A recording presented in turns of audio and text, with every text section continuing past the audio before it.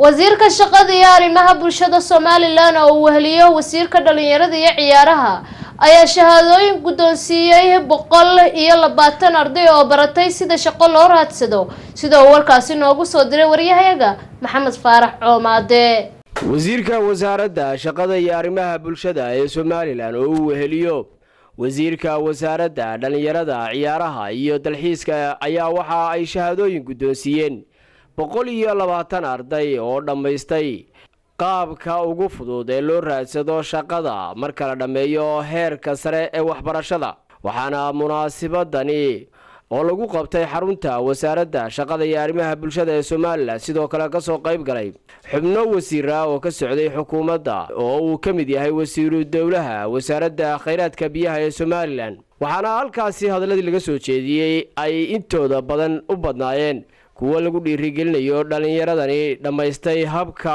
loo raadsado shaqada iyada oo lagala dardaarmay inaanay u hanqaltaagin wadamo kale islamarkaasina ay aaminaan dalkooda oo ay ka samaystaan shaqo abuuris. Ruuxa marka da-daa aada tihiin ugu yaraan afartan sannadood waddanka waad u khidmayn kartaa. Kolkaa waxaa weeye waddankiibaa idiin baahan. Leino iminka dhallinyaradeedu way tahriibtaa waad aragteen waxa dhibaato ka haysata waxaa laga yaabaa boqolkii laba saddex inay ka ay successful ka noqdaan. Inta kale laakiin waktigunbaa kaga luma marka ugu horreysa waa horta ilaahay iyo idinku xidhiidhkiina hagaajisaan. Halkaa waxaad ku ogaanaysaan arsaaqdaadu inay tahay shay go-an.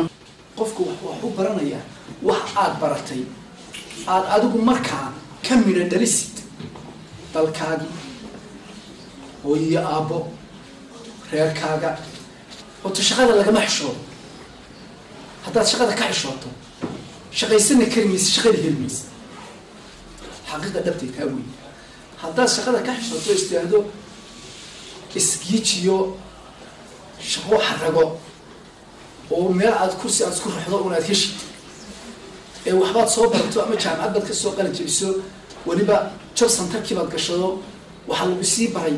Sida loo shaqaysto markaa meesha iska giiji dabeedna afka taago cid kuu yeedho kutaada xafiisan fadhiisanaysa ama shaqada noqonaysaa sug dee luntay waa luntay dee. Waxaan marka hore u mahad celinayaa madaxweynuhu marka hore xafiiskan uu furay job centerka oo uu mahaddeeda isagu leeyahay oo maanta waa arrimo badan iyo wax badan laga soo qaadanayo difcaddii toddobaadna maraya. Insha allah waana sii wadi doonaa qolada ka soo shaqaysay ama macalimiinta ama xafiiska ninka gacanta ku haya cumar oo aan hubo inuu nin karti badan yahay. Intaba waan uga mahad celinayaa waa xafiis loogu talagalay in dhallinyarada lagu ilowsiiyo tahriibta in dhallinyarada lagu baro muxuu ahaay fasility ka helaan ama shaqada ku baadi doonan lahaayeen ama maaragtay hawl ku qabsan lahaayeen. Maxamed faarax coomaade somaali janal hargeysa